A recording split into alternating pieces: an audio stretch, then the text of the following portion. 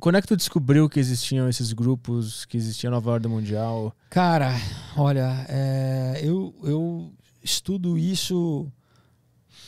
Quando eu era adolescente, eu lia um pouco mais dessas coisas sobre Atlântida, sobre, sobre civilizações perdidas. Tinha um, eu lembro que eu comprei um livro em, quando eu tinha uns 12 anos também, do David Childress, um autor americano, que era isso, era As Civilizações Perdidas da América do Sul. Né? Hum. então eu já, já me interessava disso, mas eu ainda não, não, não, não, não sabia exatamente sobre essa questão de, de, de tecnocracia. Né? Quem, o que é tecnocracia? Quais são esses, esses, esses órgãos que existem, que, por exemplo, como o Fórum Econômico Mundial, quem que, né, qual que é a agenda deles? O Clube de Roma, Comissão Trilateral, né, o CFR, Conselho de Relações Internacionais. Quem manda nesses órgãos? Qual que é a história por trás deles? Né? Que a gente às vezes vê no jornal, na TV, ah, ah o FMI, ah, o Banco Mundial. Tá, você ouve falar, mas você não sabe quem, quem, quem são, quem que está por trás, qual que é a ideologia? Eles têm ideologia? né? Os, os, os, fundadores, qual que é um pensamento por trás disso e, e, e tudo isso tem. Só que demanda um tempinho aí para você pesquisar e você descobrir. Então, uh, tem mais ou menos uns 20 anos, assim. Eu comecei. No, quando eu, meio quando eu estava já nos Estados Unidos, né, nessa temporada, e quando eu voltei para o Brasil. Então, tanto que, né, como eu te falei, no Aurora já, já, já escrevia isso, né? Uhum. É, e que, cara, é impressionante por isso, porque, por exemplo, tem, se eu tivesse aqui o caos, tivesse, eu ia te mostrar, tem. Eu já, já tinha colocado questão de, de por exemplo, é, pandemia. Hum. E, e, às vezes eu leio e falo, caramba, né? Foi meio, sei lá, né? Assim, questão meio inconsciente, assim, mas uhum. muito de tecnologia que a gente está vendo, por exemplo, leitura de íris, né? É, essa, essa, essa é, eu não quero dar muito spoiler aqui também, senão né, vai perder a graça para quem lê. Mas mas tá tudo, cara, tá tudo ali, né? Então é basicamente é isso, é o que é esse pescador que passa por esse processo, né, de, de virar, né, um que né, vou deixar aberto aí para as pessoas também que lerem. Será que isso é um é, é né, é, é, é, sobrenatural, é metafísico? Mas e ele começa a ser perseguido pelo governo americano e por sociedades secretas dentro do governo americano, né? Daí faz menção Skull and Bones, né? Quem já ouviu falar. O que, que é isso? Skull and Bones é uma sociedade secreta baseada na Universidade de Yale, é, em Massachusetts, lá nos Estados Unidos. E é basicamente a origem da CIA. Hum. Você tinha o, o, o avô do presidente George Bush, Prescott Bush, que é um dos fundadores é, e todos a família, né? O, o, o, pai do George Bush, o George Bush Senior também foi Skull and Bones. E é uma sociedade secreta, né? Que lá, por exemplo, o lugar lá em, no campus da Universidade de Yale é um, é, é, eles chamam de a, a tumba, the tomb, é, é totalmente fechado, não tem janela e pouquíssimas pessoas são, eles chamam tapped, as pessoas são iniciadas, são escolhidas dos. Eles veem né, quem seriam os, os alunos proeminentes e, e depois você vai ver quem foi escolhendo bônus está nos, em todos os lugares de poder nos Estados Unidos, nas grandes companhias, nos lugares estratégicos. Hum. Todos são diversos presidentes, uhum. como também maçons, né? diversos generais americanos também do, são todos maçons. O objetivo dessas, dessas sociedades secretas é, é mandar no mundo, é ter o poder, é ter, ter privilégio? O que, que eles querem? É, bom, esse assunto aí é bem profundo, né? é, são, primeiro, são, tem várias sociedades né, ao longo da história, né? Por exemplo, uh, Pitágoras, que a gente aprende na escola, né? Uhum. O teorema de Pitágoras, ele tinha uma sociedade secreta, né? Pitagórica, é, esotérica na, na, na, Grécia Antiga. As pessoas ficavam cinco anos num, com voto de silêncio para ser, serem admitidos na, na escola pitagórica. Né? Então, toda essa.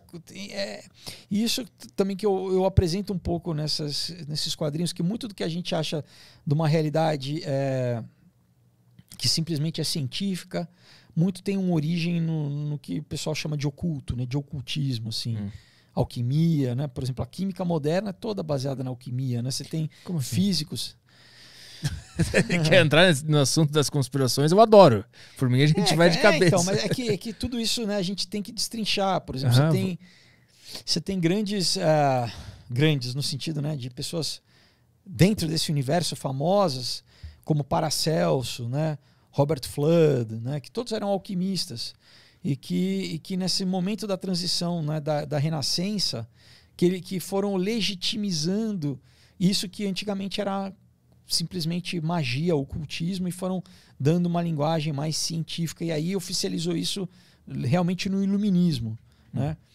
Mas, ah, por exemplo, né, o, o Newton. Newton era um, um cabalista, um esotérico, né, um profundo. né, então o cara é simplesmente o pai da física moderna. Né? Ele escreveu Principia Mathematica, né?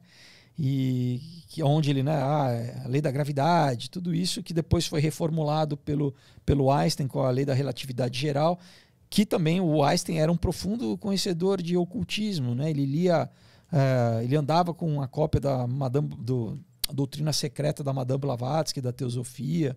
Então muitos insights de- de- dele ele tirou desse, desse, desse dessa questão.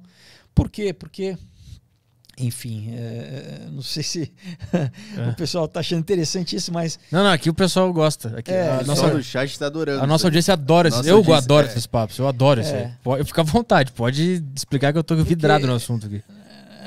a verdade é a seguinte, né? Ah, é o que eles chamavam de metafísica. Metafísica é o que vai além da física, né? Então, é, na- sempre a humanidade, ao longo do- da, da idade clássica, do século, sempre teve essa noção de que a realidade não eh, se resumia àquilo que é material. Uhum. né? É, e os grandes, né, os magos, os grandes, né, em, em várias, em vários, é, em várias é, idades clássicas, vamos dizer assim, ou, ou reinos, por exemplo, você tem desde do Império é, é, assírio, sumério, babilônico, grego, egípcio, romano, todos eles ao longo eles, eles meio que mantinham aí um conhecimento secreto que era, era, era- eles falavam não é não é pro pro pro, pro, pro leigo não é para isso você tem que ser iniciado para você ter acesso a essa informação Hum. tá então todos esses né, é, é o que antigamente eram os sacerdotes né nessas por exemplo os sacerdotes egípcios eles detinham, né? Então eu tive a oportunidade de ir no Egito lá, cara. Quando você vê a pirâmide pessoalmente, cara, você fala, meu, é tecnologia, entendeu? É tecnologia pura, tecnologia, né? Então, o, o que, que, o que, que a magia a princípio fazia? Era uma forma de você controlar a realidade, né? manipular a realidade. O que, que, o que, que a ciência faz também? Basicamente é isso, a ciência manipula a realidade, né? E então, basicamente, a gente vê ao longo aí do, dos séculos é, pessoas, figuras, né? Como, né, eu citei alguns, ou, ou como, por exemplo, Francis Bacon, né? É, e muitos, muitos filósofos também mais conhecidos, Voltaire, né? Kant. é, eu, por exemplo, visitei a casa do Kant lá em Frankfurt, na Alemanha. O cara ele era um, um Rosa Cruz, ele era um profundo conhe- conhecedor de esoterismo, né? Hum. Todos, na verdade, eram é, conheciam muito disso. E o que, que- o que aconteceu? Qual, qual foi a grande virada né, no, no- no iluminismo? Que não é à toa que a palavra é iluminismo, né? Porque a gente vê que a Revolução Francesa que marca né, o, historicamente, o, vamos dizer, a, a Idade Moderna, né, eh, foi simultaneamente com a criação lá em Frankfurt também do da Illuminati, né, do, do, do Adam Weiss, Weishaupt, Hum. que era um judeu né, convertido ao catolicismo que eh, virou jesuíta, ele, ele foi um advogado através do, do, do- do- né, da, da, da organização jesuíta, que é por, por si só é, né, nasceu na, lá na Espanha dois séculos antes com Inácio de Loyola, que eram chamados alumbrados, que são iluminados. Sempre essa questão uhum. de, da, de ser iluminado, de ter uma revelação. Enfim, ele também tem a história de como ele, essa, ele recebeu essa revelação de, um, de, um, de uma entidade sobrenatural.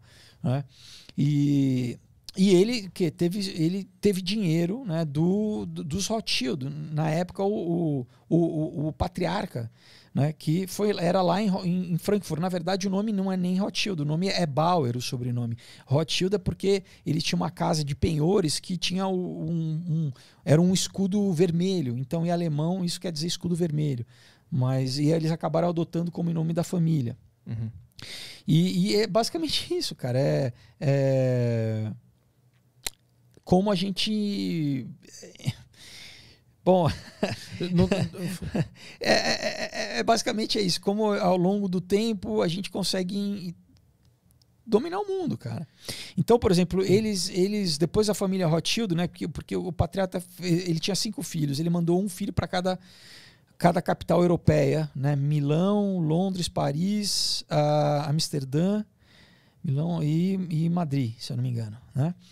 E, e eles foram responsáveis o que por dominar o, o, na época ainda não tinha banco né, central, mas de, dominar a economia dos, dos países. Né? Uhum. Né? Então, por exemplo, desde, desde isso, né, desde das guerras napoleônicas, eles usam conflito para conduzir a, a, a, sociedade onde eles querem.